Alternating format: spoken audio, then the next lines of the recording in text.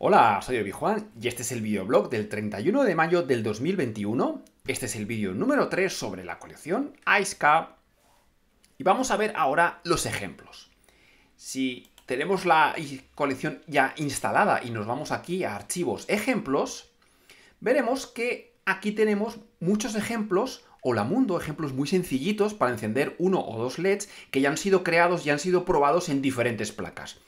De momento, como estas son las primeras versiones de la colección, los ejemplos que hay los he probado en las placas que tengo yo, que no son todas, tengo bastantes, pero no son todas. Lo ideal sería que luego la gente de la comunidad, pues según los vayáis probando, los vayáis migrando a otras placas, comprobéis que funcionan en vuestras placas y contribuyáis subiéndolos. Bueno, estos ejemplos vamos a empezar a, probar uno. Vamos a empezar uno con la, por ejemplo, con la Alhambra 2, que ya lo conocemos. Aquí dentro de la Alhambra 2 tendremos dos ejemplos, uno para probar, para encender un LED y otro para encender dos LEDs. Por cierto, inciso, después de probar los ejemplos ya os ocurrirá que de vez en cuando, cuando abrís los menús, os aparece un directorio que se llama IceBuild, ice-build. Estos son unos directorios que se generan dinámicamente cada vez que se prueba un, uno de nuestros circuitos. Se nos genera el directorio IceBuild y en su interior es donde se guardan el fichero de restricciones, el Verilog generado y el bitstream. De manera que nosotros como usuarios no hace falta que los utilicemos, pero sí como desarrollador o como perfil más avanzado, si quieres, pues puedes ir a ese directorio y mirar lo que ocurre. Por ejemplo, en este caso, si nos vamos aquí a donde está la colección, nos vamos a ejemplos, nos vamos a aquí a encender un LED. Como yo ya lo he probado esto antes en la Alhambra 2, pues resulta que ya se, me ha generado este directorio, el IceBuild. Y si miramos dentro, vemos uno de los ejemplos que he probado, que lo vamos a probar ahora también. Y que esto es lo que se me ha generado. Este es el bitstream que se ha generado, que se, que se carga la FPGA. Este es el fichero de, restricciones. Y este es el, el fichero con el Verilog. Entonces, bueno, esto es un poco más avanzado, pero si os apetece cacharrear, bueno, simplemente que lo sepáis. Vamos a probar los ejemplos. Imaginaos que queremos probar uno para la, placa Alhambra, pues le damos aquí, lo cargamos, y aquí tendríamos el ejemplo Hola Mundo. Estos ejemplos incluyen el circuito Hola Mundo, que en este caso es para encender un LED, como la placa Alhambra 2 ya habíamos visto funciona con lógica positiva, pues para encender un LED hay que meter una constante A1 conectada a uno de sus LEDs. Y hemos incluido aquí unas imágenes. Estas imágenes no están dentro del, ejemplo, sino que son imágenes externas. Y lo que he metido aquí en la documentación es la URL. Aquí vemos la URL, entonces si tú cuando abres el ejemplo tienes conexión a Internet, pues verás la imagen. Si no tienes conexión a Internet, pues entonces no verás la imagen. Verás el circuito, verás el texto, pero no verás la imagen. tener ejemplos con imágenes, la verdad es que está muy bien porque te permite tenerlo todo ahí todo ahí muy concentrado y está muy bien para enseñar cómo funciona. Bueno, pues este es otro de los objetivos de la colección de la IceK, que es ser un recolector de ejemplos hola mundo para probar tus placas. Circuitos ya probados que sabemos que funcionan y te permiten probar tu placa. Entonces, en este caso, vamos a, vamos a probar el que ya habíamos probado, simplemente para ponerlo en marcha. Vamos a activar aquí la, la webcam. Este es un circuito que enciende un LED, como ya conocemos. Entonces le damos directamente al control U, se nos empieza a, a cargar. Aquí lo vemos en el LED y ahora se nos va a encender el LED que está conectado aquí al, al LED 0, que es este, este de aquí. Este LED de aquí abajo, ahí lo tenemos. Bien, pero tenemos para más placas. Vamos a probarlo para más placas. Yo he puesto la documentación para muchas más placas. Aquí ahora en directo, pues vamos a probarlo solo pues, para unas cuantas, unas poquitas. Por ejemplo, vamos a probar pues, con la Tiny, la Tiny FPGA. Nos vamos aquí. Esto lo voy a quitar. Vamos aquí, vamos a probar también un ejemplo básico de encender un LED, pero para la Tiny FPGA. Aquí, veis, aquí tenemos el IceBuild, porque antes lo está probando, con lo cual se me ha generado. En otras, por ejemplo, aquí pues no, no están generados, porque estas no las he probado, pero aquí sí tenemos el IceBuild. Entonces, cargamos ahora esta, y fijaos lo que ocurre, que ahora lo que tenemos aquí, tenemos seleccionada la placa, en mi caso la Alhambra 2, que es la que suelo utilizar para trabajar normalmente. Entonces, es la placa que tengo por defecto, sin embargo, el ejemplo que vamos a cargar ahora está para la Tiny FPGA. El diseñador lo ha hecho específicamente para la Tiny. Entonces me avisan, me dicen, oye, que este diseño es para la Tiny y tú tienes seleccionada la Alhambra. ¿Qué hacemos? Hay dos opciones. Una es, no, cárgalo tal cual, cárgame el diseño que ha hecho el diseñador, el circuito del diseñador. Es lo que vamos a probar. Le damos aquí a Load y se me carga el circuito para la Tiny tal cual lo ha hecho el diseñador. Y veis, ya se me cambia y entonces lo tengo para la Tiny y este es el circuito. Y lo mismo, tenemos una imagen aquí de qué es lo que va a suceder. La, la Tiny FPGA tiene un LED, este es un LED de Poweron que está siempre encendido y este es un LED que funciona, que es dual. Cuando yo cargo un circuito me sirve como LED de usuario para encenderlo y apagarlo, pero cuando no está cargado el circuito es un LED que se pone a parpadear para indicar que está en el modo de carga, en el, lo que se llama el, bootloader mode, el modo del bootloader para, como para indicar que, podemos cargar. Y como funciona con lógica positiva este LED, pues si lo queremos encender, dejar siempre encendido, pues ponemos el mismo circuito que teníamos para la, para la Alhambra. Lo único que ahora aquí está conectado pues al único LED que hay. Podríamos sacarlo por otro pin, y conectar un LED externo. Pero vamos a probarlo aquí con esto. Entonces vamos a conectarle ahora la, Tiny FPGA, que la tengo por aquí. Voy a desconectarlo. Le conecto la Tiny, aquí la tengo en, en la placa de prototipado. Es una placa súper chiquitita, la Tiny. Y veis, ahora se pone ahí a parpadear.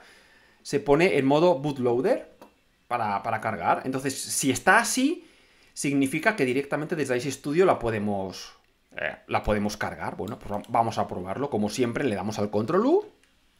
Se empieza a sintetizar el circuito. No tiene, esta no tiene ningún testigo de carga, pero veis que a los pocos segundos ya ha cargado. Y me sale aquí la notificación de OK. Y aquí ya me aparece esto. ¿Qué ocurre si intento cargar ahora? Si intento ahora cargar este circuito, me va, a dar un mensaje de error. O, se me va a quedar en timeout. Vamos a probarlo, vamos a arriesgarnos. Le voy a dar a ver Espero que, salga el mensaje de error pronto, si no, mira, ha salido pronto. Porque me dice, oye, que no está, que no, que no detectó la placa. Claro, no detecta la placa porque no está en el modo de carga. Entonces, para ponerlo en el modo de carga, tenemos que pulsar el botón. Ahora se me pone el modo de carga y ahora ya sí. Ahora ya el circuito que tengamos, en este caso el mismo, voy a volver a cargar el de antes, le damos al control U, ahora sí que detecta la placa y se carga. ¿Vale? Esta placa la he querido documentar porque es especial, hay que apretar primero el botón para poner en el modo de carga. Si no, os va a dar siempre, siempre un error de carga de que no detecta la placa. Esto también ocurre si no tenéis el firmware actualizado. Entonces es importante que antes de usar Ice Studio con la Tiny tengáis el, firmware actualizado. Bueno, veis qué fácil es, es, este ejemplo. Vamos a probar otro. Por ejemplo, vamos a probar la Icebreaker. Pues lo mismo.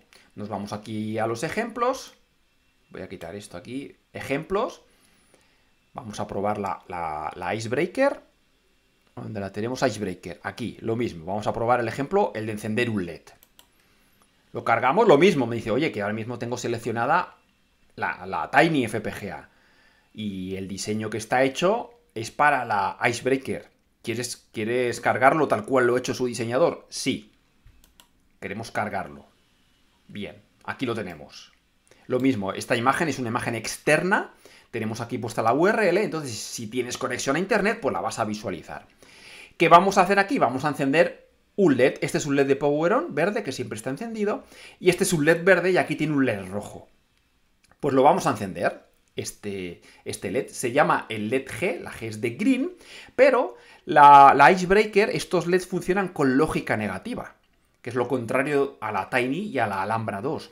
Entonces, ahora para encenderlos, pues hay que meterle un cero. Esto es una información que me da el fabricante. El fabricante me dice eso, me dice, oye, esto funciona con lógica negativa. Entonces yo el ejemplo, pues lo hago con lógica negativa. Vamos a probarlo. Pues aquí desenchufamos la Tiny y vamos a meter la Icebreaker. Aquí está. La conectamos. Y vemos que el LED verde, este de aquí, está apagado. Está el de Power On, pero este, este está aquí apagado. Y lo mismo, tenemos el ejemplo y tal cual, sin hacer nada, porque ya sabemos que hay alguien que lo ha probado y que este es un ejemplo fiable que funciona, pues ahora lo vamos a cargar. Entonces, al meterle un 0 en el LED verde, pues lo que va a ocurrir es que veis que ahora este, este LED se enciende. Podemos probar otro, por ejemplo, vamos a probar el rojo, el LED R, este es el LED rojo. Vamos a probarlo, también es con lógica negativa. Pues si le damos aquí, ahora el, este no va a estar encendido y el que se va a encender va a ser el, de abajo, que es el LED rojo. ¿Veis? Aquí lo tenemos, el LED rojo. ¿Veis? Un ejemplo muy sencillo. Vamos a probar una última placa para que, para que lo veáis. Por ejemplo, la placa de Radiona, esta tiene una FPGA, una ULX 3S, que esta tiene muchísimos más recursos. Aquí, aquí te cabe, puedes meter hasta un Linux dentro. Vamos a ponerla por aquí. A ver, aquí que se vea más o menos bien. La dejamos aquí. Lo mismo, ahora está encendido ahí un... Bueno, esto vamos a dejarlo así un poco torcido, pero da igual. Tiene aquí ahora mismo encendido un LED verde, pues vamos a encender este LED aquí este que tenemos aquí. Pues vamos a, cargar su ejemplo, como siempre, nos vamos aquí a los ejemplos, encender un LED y vamos a encender el de la radiona. Este LED aquí, se me carga el circuito de ejemplo. Lo mismo, me dice, tienes seleccionada la Icebreaker, esto es para la radiona, ¿quieres, ¿quieres cargarlo tal cual lo ha hecho el diseñador? Sí, quiero. Y lo cargamos. Y aquí lo tenemos. Entonces, esto es lo que tiene que suceder. Aquí se tiene que encender este LED que es rojo, es el LED 0. Pero aquí esto funciona con lógica positiva, entonces el LED 0 le ponemos un 1, pero además esta placa tiene muchas más cosas, entre ellas tiene Wi-Fi, y para que la Wi-Fi, para que no se me resete la placa y para que todo funcione, el fabricante nos dice que este pin de la FPGA, el Wi-Fi GPI 0, tiene que estar puesto a 0. Si no está puesto a 0, o sea, si no estamos usando la wifi, hay que ponerlo a cero porque si no la placa se nos puede resetear, nos puede hacer cosas raras. Esto es información que me ha dado el fabricante. Bueno, nosotros seguimos la recomendación del fabricante y ahí lo ponemos. Y ahora lo cargamos, control U, y vamos a cargar el ejemplo. Este como es una FPGA con muchos más recursos y, más gorda, pues tarda un poquito más. Aquí ahora ya empezamos a ver un LED, se enciende este LED azul que es el LED de carga. La carga es un poquito más lenta que en el caso de las FPGAs anteriores, que eran más, más pequeñitas y todo iba más rápido, aquí va un poquito más lento. ¿Ves? Ya se me ha cargado todo correctamente y se me ha encendido este LED de aquí de, de la radiona, que es este, es el de cero. Por supuesto, tú esto lo puedes cambiar y tú puedes seleccionar cualquiera de, de los LED que tú quieras. Bien, pero para eso sirve también esta colección, para ejemplos solo mundo, ejemplos súper fáciles, pues hombre, si tienes una placa, antes de hacer tú los circuitos, prueba unos circuitos validados por otras personas para asegurarte que tienes las herramientas bien instaladas, que la placa te está funcionando, etc. para qué más placas tenemos los, circuitos? Pues hombre, aquí las hay para, muchas más placas. Imaginaos ahora que tenéis una placa que está soportada en Ice Studio, pero que no, no hay ejemplos aquí. Porque yo esa placa no la tengo, entonces estos ejemplos no están. ¿Qué, podéis hacer en ese caso? Bueno, en ese caso lo que, lo que puedes hacer es eliges un 1, un ejemplo mundo, por ejemplo, el de la Alhambra 2, porque es el primero, venga. Lo cargamos tal cual para la Alhambra 2. Y ahora cambias la placa. Dices, venga, pues quiero probar este ejemplo, lo quiero probar, pues para mi, para mi placa, por ejemplo, dices, pues yo qué sé, para el Arduino. Pues le das aquí, para el Arduino. Entonces aquí te avisa, te dice, oye, ¿quieres, ¿quieres cambiar? Que porque ahora mismo tienes la Alhambra 3, ¿quieres cambiar? ¿Qué va a ocurrir? Que cuando tú cambias de placa, la información de los pines la vas a perder. Porque claro, cada placa tiene sus propios pines. Entonces, tú tienes que decidir dónde conectarlo. El programa no lo puede hacer automáticamente por ti. Esto es importante. Tú le dices OK y mirar lo que ocurre. Que pierdes la información de los pines. Es decir, se lo tienes que asignar. en este caso es, oye, ¿qué LED quieres encender de la Arduino? 3.0. No, tengo el Arduino, no sé cuántos LED tiene ni sé qué recursos tiene, ¿no? Pero si por alguna casualidad se te olvida, pues si, si tú lo intentas cargar, bueno, en este caso me va a decir que, que no detecta la placa Arduino porque no la tengo conectada, ¿no? Pero imaginaos, vamos a hacer aquí una especie de... Vamos a hacer una ñapa para que lo veáis. Voy a, voy a conectar la... Voy a poner la alhambra. Esperad, la estoy conectando porque es que quiero que veáis el mensaje de error. He conectado la alhambra. He conectado la alhambra. Y y voy a cambiar a la Alhambra. Imaginaos. Cambio aquí a la Alhambra. Eh, ¿Dónde estás? Alhambra 2.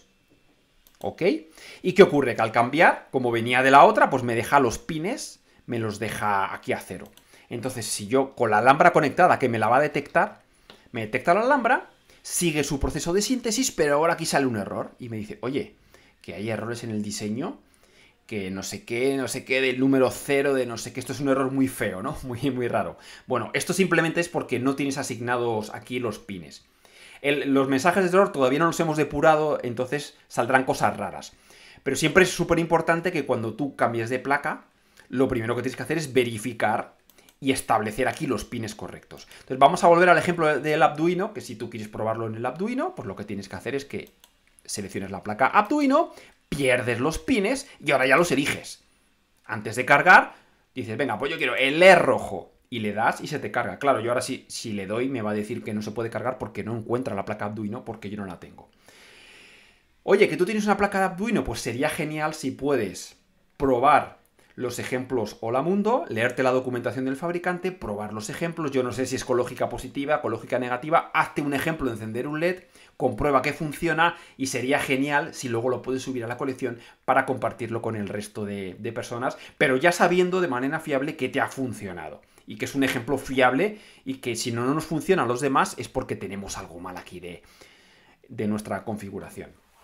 Bueno, ya para terminar, en la wiki de la colección, esto está, está documentado, si os vais aquí a, a la wiki dentro del GitHub, pues en la parte de la wiki he puesto, además de los vídeos, está puesta más información entre ellos están aquí un, apartado que es para probar los ejemplos, y como he probado yo los ejemplos en distintas placas. Y esto que os he contado aquí en el vídeo, pues está hecho para el resto de placas de las que yo tengo.